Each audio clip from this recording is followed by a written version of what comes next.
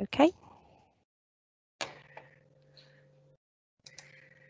Right, good afternoon everyone. Very warm welcome to our um, CQC session on Now, Next and Future. Um, my name's Kate Terroni, I'm the Chief Inspector of Adult Social Care and I'm going to be taking us through this presentation today. We have an hour together, so the plan is that I'm going to cover some slides. We're then going to have an opportunity to have um, some questions I'm then going to do another set of slides and then we're going to have some questions at the end. So because this is a Teams live event, we can't, because of the number of you that are on uh, this webinar, we can't have an interactive session in terms of you talking, but I've got my chat box open and it would be fab uh, as I talk for you to be writing comments and questions um, uh, as we go. So I will endeavour to multitask in terms of talking and keeping an eye on uh, what you're saying in the chat box. So say hello and let let me know what you're thinking in response to what I'm saying. So if we could have the next slide, please, Steph. Okay, so who's on the call? So I've introduced myself. Um, I'm really pleased to be joined by Mary Cridge, who's one of my three Deputy Chief Inspectors. Mary covers uh, Central Region. And then we have the team of colleagues who makes this event happen. So we've got Jen, um, Abigail and Steph who will be uh, keeping an eye on your um, your chat, but also uh, driving the slide deck for me and capturing the themes of what we discussed today. Thank you. So um, so what we're going to cover today, so I'm going to very briefly remind you of our role and purpose here in CQC. I'm going to talk to you about our timeline, about how we are changing and where we are with that. Going to do a super quick recap of what we've done so far in adult social care since the start of the pandemic. Going to talk a bit about where we are now with regard to infection prevention control, uh, winter, um, some piloting we're doing around how we might uh, regulate um, home care a bit differently. And then I'm going to talk about our transitional approach to regulation. So that's the first half of the session, and then we're going to have questions. And then we're going to move on and talk about how does all of this link to our strategy and the direction of uh, that we're going in a CQC uh, and what what the future may hold and then we're going to have some further uh, further opportunity for questions so that's the plan uh, for the hour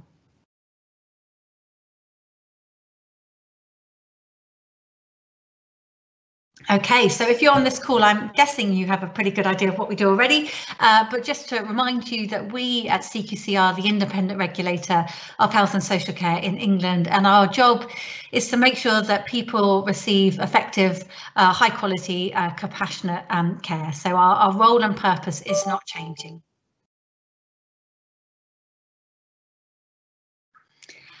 And um, I would say that our purpose is, is as vital as, as ever um, as we've as we've gone through this pandemic and we look at the changing health and social care landscape. So um, to ensure that we continue to deliver uh, what the public expects of us as a regulator, um, we need to ensure that the voice of people who receive services continues to be centre of everything we do and that they have the ability to make a difference to the safety and quality um, out there. Uh, we want to do more around supporting providers to have real-time information about how they're doing, uh, to have a adult-to-adult relationship with, with providers, um, and to ensure that all of our interactions are transparent and open with that uh, mutual respect that you would expect. Interested in thinking about how we might do more around improvement and how we uh, make learning a part of all of our usual business. Um, so our purpose uh, is not changing and these are the key things that we're, we're looking at. You want to move us on, Steph? Okay, so we've got a timeline slide that's oh that's uh, magically uh, appearing before my eyes. So um, so this is our timeline around uh, transformation, and there's a few things that get, that's going on. So our, our current strategy is due to end in um, April, May next year. So before the pandemic, we had started thinking about what should be our future direction of travel as a regulator. How do we remain relevant? How do we use all the intelligence that's available to us to have the best, most up-to-date view of quality and risk? So we were we were on a plan, we were on a pathway around uh, thinking about how we might want to transform and work differently. And then, as with many, uh, pretty much every other organisation out there, COVID landed and it required us to very rapidly think about how we needed to do business differently. And what this timeline shows is that we are doing business differently, but we are endeavouring to transform in the direction of where our strategy was taking us anyway. So um, we started scoping and thinking about our strategy um, back in 2019. Um, in uh, at the start of this year, um, our strategic priorities were developed following a series of engagement, and then coupled with that, as we went into uh, April May time, we uh, developed our emergency support framework, which you'll probably be familiar with. Where we are now in autumn is that we are uh, progressing our emergency support framework and moving into a transitional phase. And I'm going to talk to you a bit about our new um, transitional uh, regulatory approach. We have got a really real sharp focus around infection prevention and control. And then on our strategic side of things, we are testing out our strategic themes uh, with people uh, in this kind of informal run up to our, our consultation launching um, in the new calendar year. So we are having an early conversation with you all, and it is a conversation because many of these things haven't been uh, finalised or landed yet, as you would have expected at this point. Um, and we'll talk about that a bit later on in the hour as well. Um, our intention is to go out and consult formally on our new strategy um, in springtime and that we launch our new strategy in, in May of next year. So we're doing the dual piece of thinking about how we need to transform as, as an organisation and what our strategic direction is while we transform the way we, we regulate um, in response to what COVID has presented us.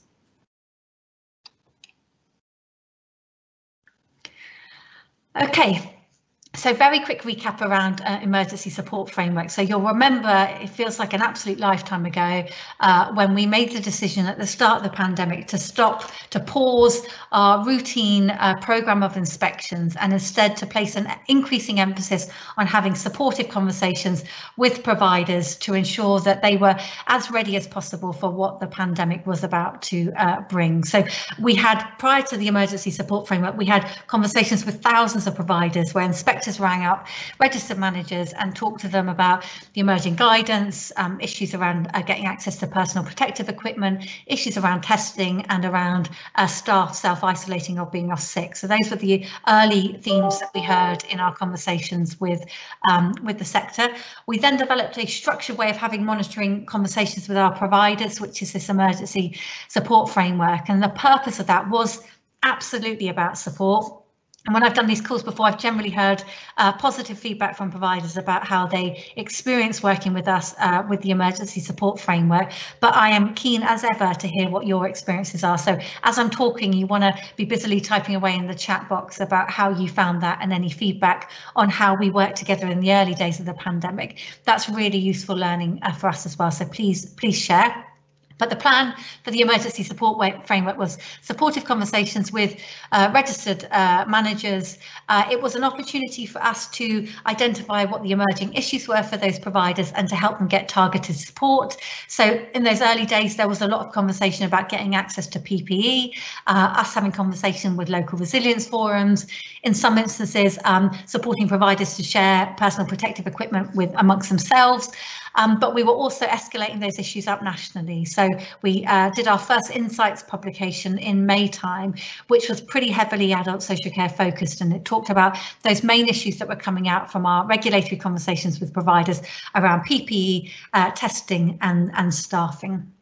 Um, so uh, we developed our emergency support framework. I'm going to give you some figures in a minute as to how uh, many providers we've had those structured monitoring conversations with. And our emergency support framework, all the learning we took from putting those structured conversations into uh, into our computer system that helped uh, generate uh, kind of an output that that gave us a new kind of um, technology fun functionality that we didn't have before. And all of that is going to be useful for our, our, our transitional approach around how we regulate. Um, so if we can just move on to the next slide, Steph. Okay, so there have been almost 17,500 locations who have had an emergency support framework um, assessment. Um, and we're calling these regulatory actions. So, so they are um, an intervention, a, a, an exchange that we've had with a provider um, to give assurance and provide support about what's happening um, out there. Um, what you'll see as well is it's, it's, slightly pale, but hopefully you can see the uh, bar chart on the right of the slide um, that says that actually we endeavoured through the start of the pandemic to get as much information as we could without needing to go and physically visit services in person because at that time it was about supporting providers to get on and do what they they needed to do um, but we always said that we would go out and, and physically visit a service when the risk required us to do so. So um, we have undertaken uh, 1,200 inspections in adult social care since uh, the beginning of the financial year, since April. Um, and the number for October is significantly increased since this bar chart's um, being produced as well. So emergency support framework was our main way of having visibility and providing support to the sector. Um, and we continue to go out and cross the threshold when we were uh, concerned about risk and we needed to have a look at what's going on out there. Should we move on? Okay, so um, we're evolving evolving the way that we work as all of you as every single uh, business has had to do in this country uh, as a result of um, as a result of COVID. I'm going to talk to you a bit more about our increasing focus on uh, infection prevention and control. We are developing a transitional regulatory approach that's happening now and our staff are currently being training are being trained in it um, and all of that all of that learning uh, from uh, the first wave of the pandemic and this new way of regulating is informing our strategic direction and um, our, our document that we will be consulting on formally in the new year. Let's move on, Steph. So infection prevention control, uh, something that was uh, has always been important, but is under the most critical spotlight um, now. So earlier on in the summer, we developed a new methodology focused around infection prevention control. We developed it, we shared it uh, with providers, it's on our website, so if you want to have a look, it shows the eight areas of assurance that we uh, plan to cover, or we do cover during infection prevention control um, inspections. It says that the it, it, shows providers what we expect to see uh, under each of those uh, as to what is best practice. We have undertaken uh, in excess of 400 infection prevention control inspections uh, since we launched this new uh, methodology. And we've gone about it in two ways. So one, we obviously need to respond to risk when it comes to infection prevention control. And when we have concerns brought to our attention around uh, maybe from whistleblowers or for people who receive care or their families, highlighting possibly a provider struggling around good infection prevention control, we go out and have a look in person. So we go out across the threshold where we have concerns about the risk around infection prevention control. But also we were really keen to do a bespoke piece of work to say, what does best practice look like? We want to see where providers are you know, an absolutely fantastic job around implementing good infection prevention control. So we did 300 inspections over the summer where we went out to good services and we were assured in 90% of the, the cases about what we were seeing around um, IPC practice. Um, so we've done that. Our intention uh, is to do uh, about 500 uh, more infection prevention control inspections um, in the next few weeks running up to the end of November. Again, with that dual focus, one is going out and responding to risk where we have concerns, and the other is seeking best practice so that we can we can publish it in terms of individual providers reports, but also we can bring that together and talk about it in, in a national report.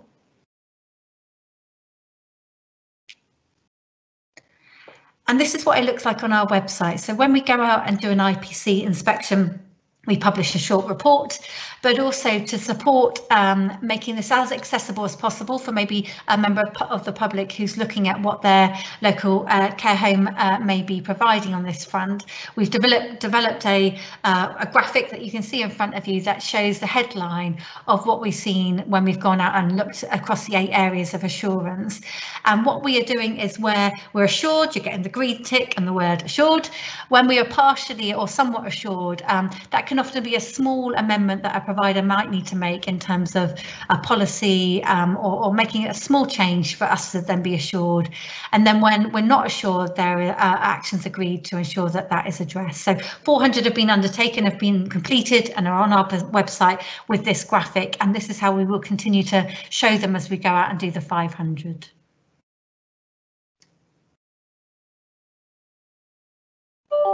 So this is just a breakdown of um, what we found across those eight areas of, of assurance. So um, there are many things that are working really well um, out there. So we, we've been really pleased by what we've seen in terms of providers' approach around things such as safe admission, um, good infection prevention control to support visitors coming in and people uh, going out of the service and coming back in, um, access to testing, etc. And then the, the areas that have found, we found more areas of concern and improvement is around still being as vigilant as ever about the use of good personal protective equipment. So we're all weary. You know, it's been an incredibly long uh, eight months with uh, a kind of turmoil that no one could ever, ever have imagined. And uh, many of you that are on this webinar would have experienced this more than than you know other people out, out there. Um, but that message around uh, being absolutely vigilant when it comes to PPE is critical, and it's critical that we don't stop talking about it. And then the final area, which is something that I would uh, implore you if you've not done already, is to make sure that your IPC policy um, is up to date and is uh, reflective of, of, the current times we're in. So that's what we've seen um, when we've gone out to that relatively small number of homes. Um, IPC will continue to be a focus. So we've got a plan for 500 in the next kind of four or five weeks. Um, IPC is a focus of our regulatory conversations with you, monitoring conversations with you over the phone, but also I anticipate the IPC focus continuing uh, well into spring. So um, obviously this is not going away because it's such a critical issue and we as the regulator will continue to play our role in providing assurance to, to the public on that. If you can move, move us on, Steph. Um, so I'd like to say just a couple of other things uh, around IPC before I move on. Um, one, um, because uh, I don't get these opportunities very often, I want to say an absolute heartfelt thank you to you um, as frontline workers, as managers, as uh, people running care services for what you've done um, to date, we always knew we had a remarkable um, social care sector and workforce, but our you know, the social care workforce has done more than what we could have ever imagined uh, prior to the pandemic. And I just want to say a massive thank you. Um, you know, most of the country was shutting up shop at the start of the pandemic, and our care workers were going out, visiting people in their homes, uh, spending, you know, going into care homes with all, all the risks that was being talked about at the time. And I, I want to say a massive thank you for what you and your teams have done. Um, a couple of other kind of hot topics around this infection prevention control. Um, uh, agenda that I just want to flag with you that I've talked a bit about in the last couple of weeks, but just in case you've missed it. Um, myself and Ted Baker, who's the Chief Inspector of Hospitals, um, and Rosie Benneyworth, who's the Chief Inspector of um, Primary Medical Services, uh, put out a position maybe about two weeks ago about our expectations around discharge planning. So in our uh, in our piece, um, Ted Baker talked about his expectations about good discharge planning from a hospital perspective, starting early, and that as the person approaches uh, discharge, their COVID status is absolutely known um, at the point that they are ready to leave hospital and that that information is made available for providers to make an informed decision about whether they can take them into their care and, and look after them uh, in a way that is safe. I talked about my absolute support for um, care providers to not accept someone unless they know their their their COVID status, and they can absolutely be assured that they can provide good quality um, IPC. And Rosie talked about the importance of that community health offer, so that social care providers are not left in isolation, managing people with very complex needs. So we've put our our kind of collective position on this, and want to. Um, really encourage you to give us feedback on how it is feeling uh, feeling like out there. But i am really hopeful that you have heard from me that you have my backing our backing as a regulator that you need to be absolutely assured that you can safely manage someone before um, you move them into their service. I know it's obvious. I know that's what you do anyway. I am just very aware of the pressure in the system pressure from hospitals pressure from uh, maybe commissioners etc all for the right reasons. But I just want you to know we're coming out and regulating social care providers to ensure they're taking they're delivering good IPC and we want to also support you to make sure you've got what you need to deliver that. And then my final other message on this is um, visiting So um, lots and lots of providers did what was completely understandable at the start of the pandemic. None of us knew what we were facing, and many providers took the decision to, uh, in effect, shut their doors to anyone who were who wasn't their their kind of key members of staff coming in to keep the service safe. Completely understandable. I think we all know, and then and then loads of wonderful innovation that you all did to keep people connected to their loved ones. Um, eight months have gone by, I think we are all acutely aware of the impact uh, this has had on uh, people not being able to see their loved ones as regularly or even at, at all. And we're really keen for all providers to hear that our expectation is you follow government guidelines, you pay sufficient attention to your local risk levels and your advice from your directors of public health, but that we absolutely want to see a person-centered approach to making visiting happen wherever it is safe to do so.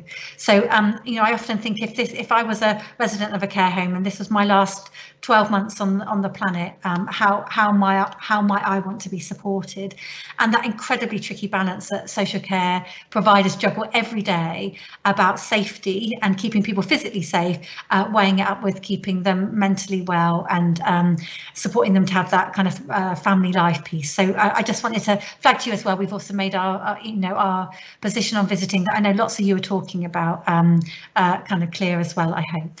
Okay. Shall we move on, please, Jen? A um, couple of other bits before I pause for um, questions. So uh, as we weren't crossing the threshold as much um, during the start of the pandemic, our need to hear directly from people about the experience of receiving care was more important than ever. So we, along with Healthwatch England and about 10 partner organisations, uh, launched our Because We All Care campaign in, I think it was August, where um, we uh, our pitch was uh, if you uh, if you care about your local health and social care providers and you want them to deliver good care a way that you can help that happen is by telling us about your experience of care be that good bad or mixed um, we have been delighted to see a significant increase in the number of people who have given us feedback on care. And actually a large number of occasions when we actually go out and cross the threshold is as a result of that intelligence that's provided to us through uh, forums such as Give Feedback on Care. So this, this feedback absolutely counts to us having um, as up to date a view as possible about the quality and risk that's out there in the sector.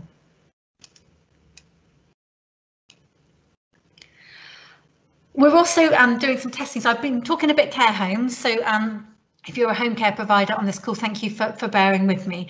Um, so we've been thinking about uh, what, what did we learn from those first few months of COVID in terms of how how could we how we how were we still able to gather intelligence that gave us gave us confidence about the quality of care that was happening there, and actually we found um, that there was a huge wealth of information available to us and uh, information we could get through those fantastic conversations we were having with managers um, to give us a really good view of what was happening. That's not to say we won't carry on crossing the threshold um, because it's still a really important part of how, how we work. But it did get us thinking about home care providers and UKHCA, um, uh, Jane and Colin, uh, and I had an early conversation to say, actually, with a home care inspection, uh, my inspectors will go out, they'll go to the registered office. Um, I've been on these inspections before where you often end up sat in a you know small room, uh, maybe see a couple of members of staff, but actually because care is being out there delivered in people's home, um, there is a question about uh, whether that is the way we need to uh, inspect home care providers. So we are doing a pilot at the moment. We were delighted. We put the offer out there to home care uh, providers saying, do you want to try a new way of uh, inspecting? 180 organisations come forward and we are doing a pilot with 60 of those um, at the moment spread across the country. And this pilot is to look at if we're not spending time travelling to an office location, how might we increase our amount of activity in talking to staff, maybe when they're away from the office? So might that aid having really frank conversations? And critically, uh, how do we spend more of that time talking to people who receive services via Zoom or Skype in their own home to hear about how that's going? So that pilot is underway. Uh, it's early days, but we're getting good feedback so far. And this is a perfect concrete example where in partnership with you, we're saying let's test out a new way of working, let's evaluate it. And if it works, might that might we want to seal that in as, as being part of the way we do business going forward? So actually, for home care providers, if if this works and we evaluate it and there's full, you know, there, there's good support for it, might we say that we don't automatically go and visit a home care office when we need to inspect? That actually, in the majority of cases, we can achieve what we need through this route, um, but we will always keep the ability to to go out and visit a place in person if that's what's required. Okay, should we move on? Um, so when we go out and cross the threshold and come and uh, visit you, um, and when we are thinking about our transitional approach to regulation, um, there is an increased focus on monitoring, but also we are continuing to base this on our key, key lines of inquiry.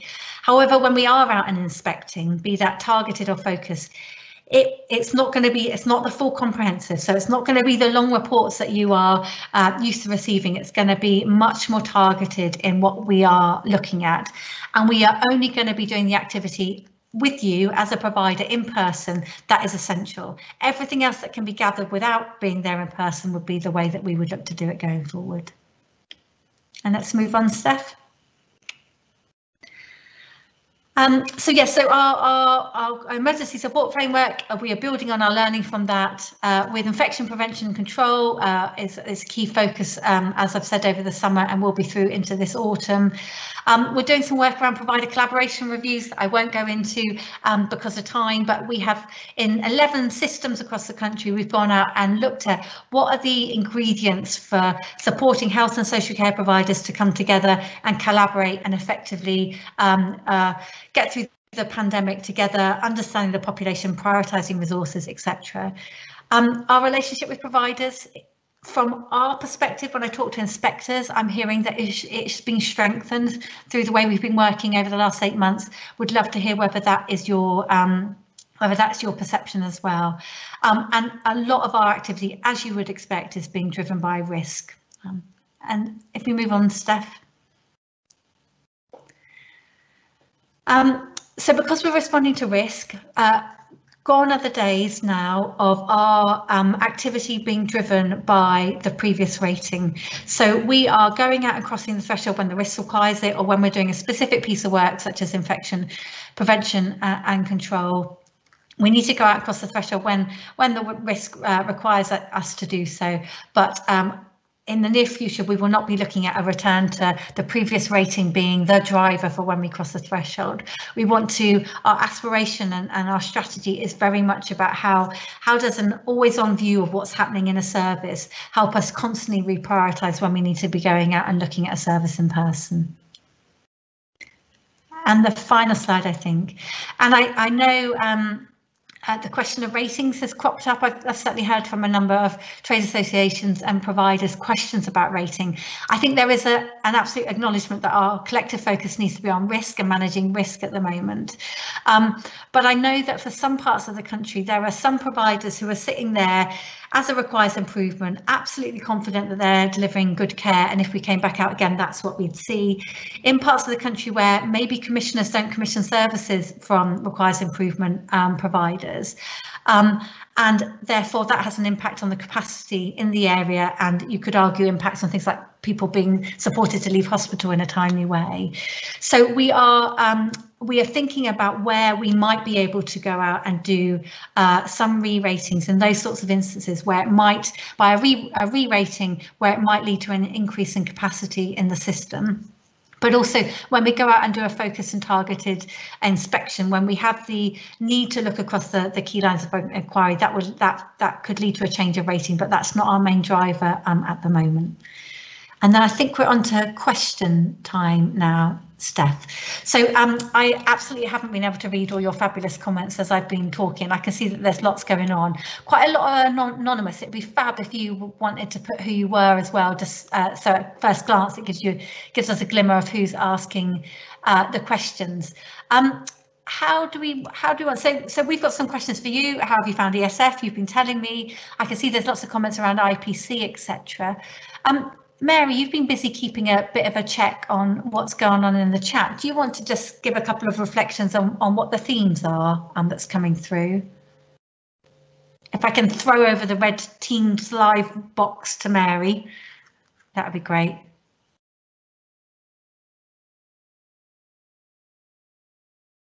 Can I do that, Steph? Are we able to? Yeah, great.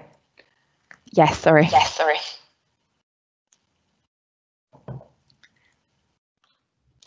You're live, Mary. Okay, okay thank, you. thank you. I couldn't tell. yes, there's been lots of questions. So um, there have been some questions around the IPC inspections, some detail about that, which I'm in the process of answering. Um, so one of the re recent questions was whether they're announced or not. And uh, if they're risk-based, they'll be announced from the car park. So uh, quite a quite a short notice um, announcement. If not risk-based, then there'll be a bit more notice. Um, there's some questions around um, what advice we have for domiciliary care providers. So we need to have a have a look at and, and address that point. There have been some positive, in the majority, sort of positive reflections about um, how relationships with inspectors have improved, but that hasn't been universal experience. And there are some colleagues on from primary medical care who didn't who didn't have the same positive experience in the early days of ESF. Uh, lots of questions about the future. So some responses I've given are, have been about waiting for um, the, the, the strategy um, information that's coming but um, definitely uh, the message is we are learning from ESF and yes we want we also are learning and uh, all the time about the benefits of a positive relationship in terms of achieving what we all want in terms of quality and safety and that is very much part of our our strategy thinking. So I think that's that's a few of the themes Kate. Great I can't remember, Steph, whether I could be heard while the red box moves back to me, but I'm going to talk. Oh, there we go. Oh, that's very quick as well. Um, Thanks very much, Mary. And I'm just thinking the the only other thing I didn't mention that might be of relevance, but mainly to care home providers, is um, you'll be aware uh, probably about an active discussion going on at the moment as the government talks to local government about implementing uh, designation areas for people who have a COVID positive uh, test result um, who are being discharged from hospital. So we are uh, we are here and involved with that work and our role is when local authorities in partnership with their um, other system leaders um, identify where a designated space might be, we will go out in response to that and undertake an, an IPC inspection uh, which would be our normal methodology, but there'll be an increased focus on the ability for that provider or that service to zone and cohort those people that would be coming in with a known COVID status. So just to let you know, we're, we're involved with that piece of work. That's um, Those places are being identified as we speak and local authorities are getting in touch with us as well. Um, one uh, just one comment I saw, which I know is a bit of a hot topic, I'm just going to cover off and then we'll move on with the slides. Um, testing of inspectors. I, I, I, hear from my inspectors and I hear from you um, these questions uh, often about inspectors getting tested. Um, so a couple of things. One, um, we have asked the Department of Health and Social Care for this to happen and their view is that uh, our inspectors along with other visiting health and social care professionals don't meet the criteria for getting tested because we're not delivering hands-on care. Um, but the department's keeping that under review. And then secondly, I just want to reassure you all the um, robust way that we go about supporting our inspectors. So they've all had training around infection prevention and control. They've all got the right kit. They undertake individual risk assessments for inspections that they're undertaking. So we are taking our contribution to it very seriously as well about making sure that our inspectors have all the right knowledge and kit to ensure that they are going out safely into services as well. Okay, shall we move on, Steph, with the next um, slide? So we're going to talk a bit about strategy. So all of that, that's all the busy activity we've been collectively doing to transform during COVID. How does that now translate to the type of regulator we, we want to be? And I, I would suggest and happy to hear what you think in terms of how aligned it is. It certainly feels for me like we are motoring in a direction that feels in keeping with our ambition about what we want to do. But let me walk you through, we've got kind of four pillars of our strategy that we're having a conversation about this autumn. And I'm just going to give you the headlines of each of these and would love to hear um, your thoughts. So if we go to the next slide. Okay, so we're going to talk about the first pillar, which is people. Um, and uh, those of you who uh, may know me will know that I'm a really big fan of Think Local, Act Personal's Making It Real I statements. And uh, the I statements have been compiled with a large number of voices of people who um, experience using services and they talk about people's expectations about what services should look like. So I think the I statements are a fantastic source of, uh, you know, whenever you need somewhere to go, I think a starting point of the I, of the I statements is critical. Um, and what we want to do as a regulator is we want to we want to regulate services through the, the lens of people who receive them. So we know that uh, the outcomes people get from health and social care are significantly impacted by their ability to access them in a timely way, but also for the ability for those health and social care services to join up in a kind of holistic way around the person. So, so our ambition is to uh, regulate in the way that matters to people and from their, their perspectives, looking at access and how they move between um, services. Um, we want the information we make available to empower people to make decisions about their care, but also more than maybe we've done before. So we have our ability to publish reports uh, called our independent voice. So um, we publish State of Care on Friday, uh, and it, we publish that annually, and that's our annual report about the state of health and social care in the country. Um, but we think in our new strategy we should have a greater role in calling out inequalities. So in our State of Care report um, this year, we talked about how um, COVID has just magnified those inequalities that existed prior to the pandemic, and things such as um, different people's experiences of accessing care, things such as the fantastic digital transformation that has happened across health and social care. Yeah, that's great for a lot of people, but actually for some groups of people that that won't work for them. Um, so we think we've got a role about calling out inequalities and shining a spotlight where that needs to be um, addressed. So that's a bit about people. Let's move on, Steph, to smart. Um, so we want to be uh, we want to be a really proportionate regulator, um, and we want to. Um, I, every time I say this expression, it makes me kind of cringe, but I can't think of a better way of saying it. We want to have the right range of tools in our toolbox, so that we we've got the right way of regulating the the different types of services and the types of risk uh, that we've we've got. So we want to have a much more flexible way uh, uh of regulating uh, with a with a wider range of tools available. Uh, we want to make best use of what's available um, through intelligence and digitally. Uh, we want to use that information to help drive our inspection activity. We want to target our resources to where the risk is, um, and we want to make sure we're really proportionate and effective when we go out. Um, and we want to be flexible and responsive. So, so things such as our um, home care pilot, things such as our IPC new methodology, when we go in with a real laser focus, um, I see those as being in our collection of things that we're able to do going forward. So this is about being flexible, smart and proportionate in how we regulate services. And let's move on to safe. Um, so safety across health and social care is often the poorest area um, of performance. Um, and uh, Ted, my colleague in hospitals, will say that there hasn't been a significant shift on the safety area for at least 20 years in, in, in from a health perspective. So we want to see um, we want to see things, things significantly shift uh, on the safety front. We want to see a stronger focus on safety culture. In um, adult social care, it's, it's, a figure that's stuck in my head from a little while ago, but I, I think it shows this, uh, gives this example quite well. So um, in uh, in health services, there are approximately 237 million medication errors reported a year. So 237 million. In social care land, when uh, prior to COVID, when you used to complete your provider information returns, 50% uh, of those provider information returns ish shows that there was no medication errors that happened.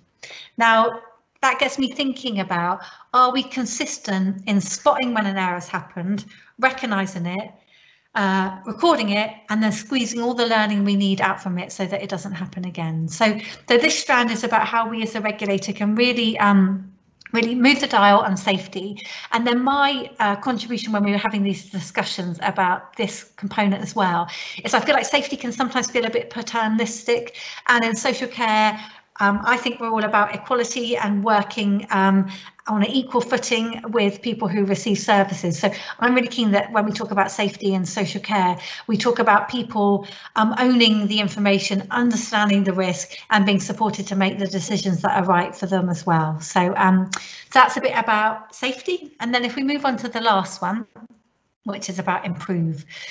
Um, so when we think about improvement, uh, and we think about the improvement offer across health and social care, it is very mixed.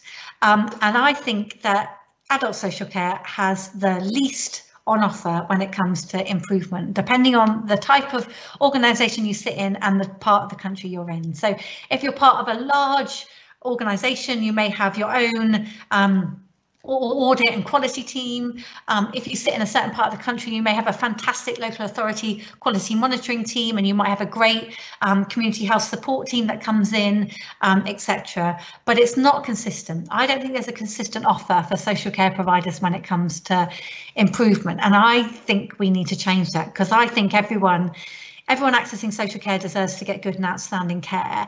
And I don't think our job as a regulator is to just sit back and comment on the fact that um, a, a, you know, a number of people are receiving care that is less than good. I think we should have a more proactive role in helping uh, that be addressed.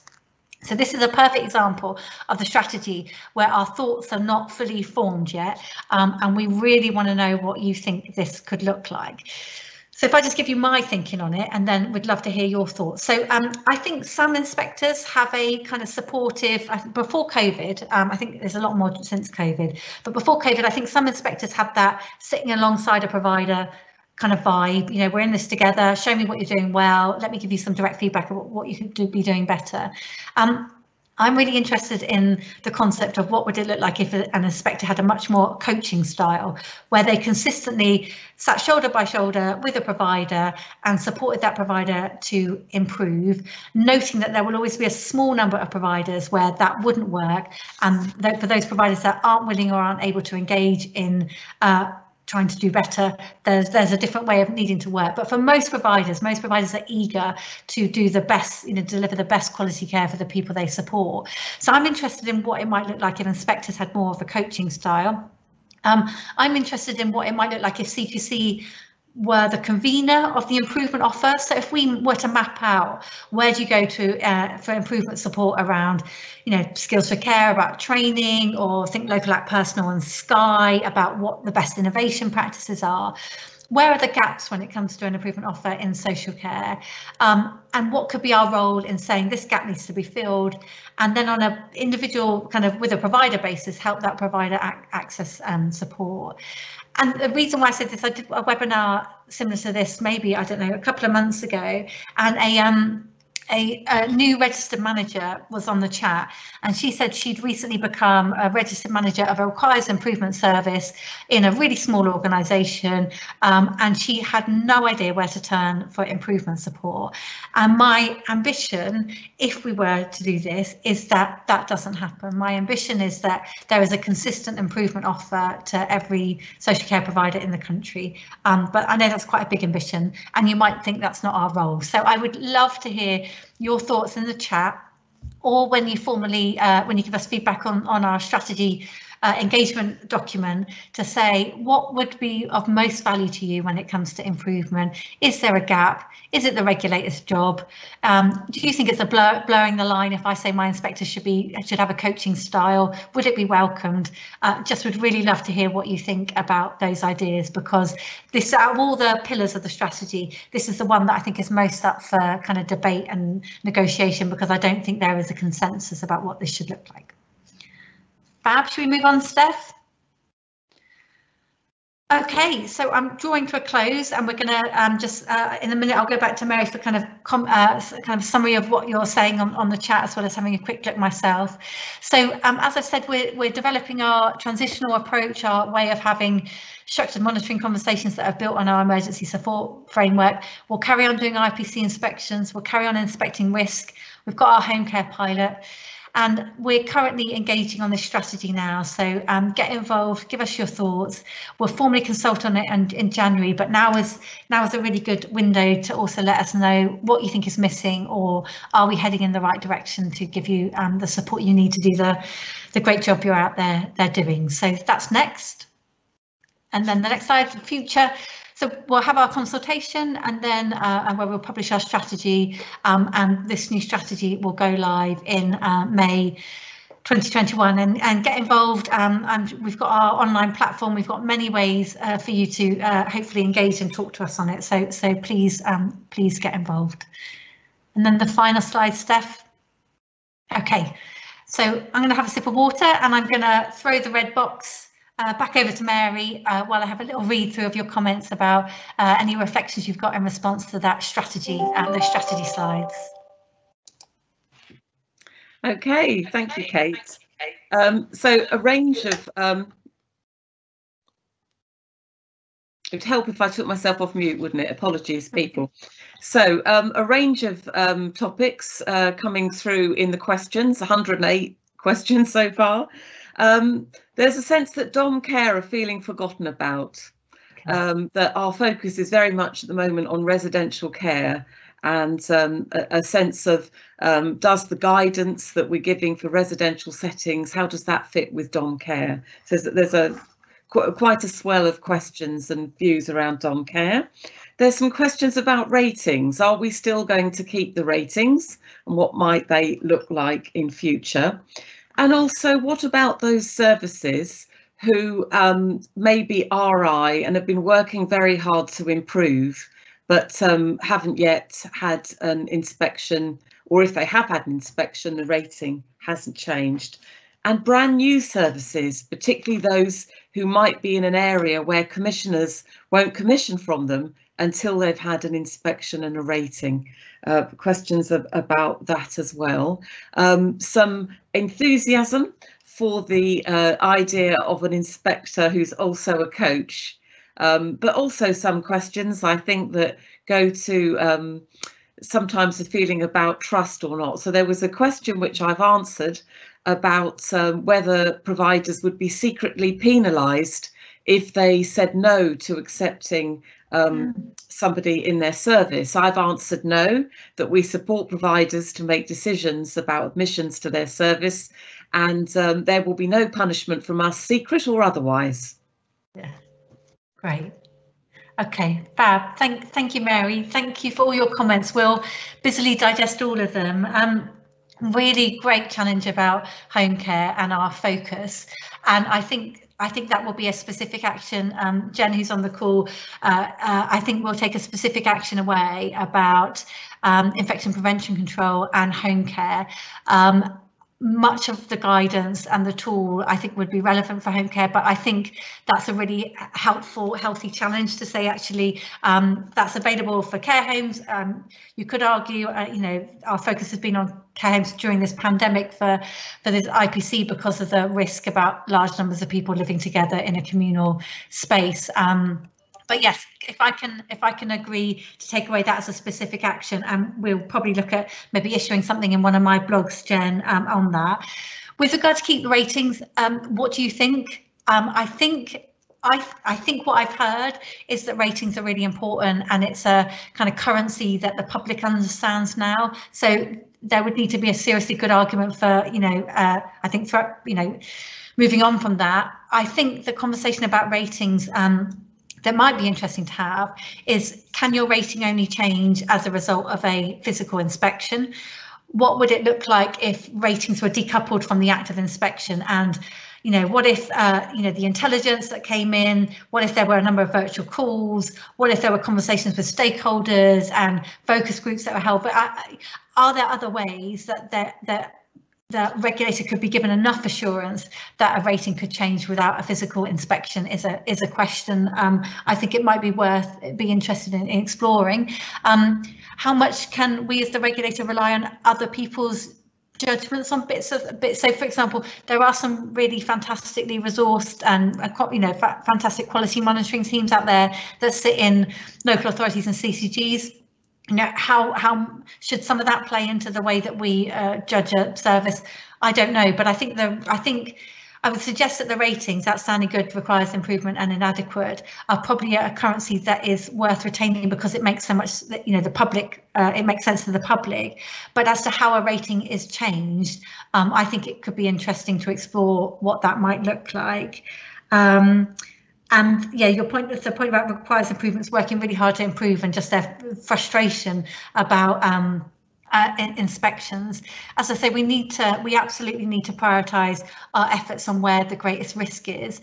If you happen to be an RI service that is, you know, really confident that you get good on a re-rating and you happen to be in a part of the country where there are capacity issues you might want to have a conversation uh, with us about about that. But as i say uh, the priority will always be going out. At the moment uh, is going out to those those most um, at-risk services. Um, I think that's it. Is there is there anything else? Um, any other comments from uh, my team about what you've seen that you want us to bring up? Um, anything from you, Jen, that you're? Yeah, I just wanted to highlight um, some very helpfully um, highlighted about home care there, but just to say that we do have some providers on the call from Shared Lives and Supported Living as well, who've also highlighted that the IPC work and that guidance would be useful for the, those groups as well.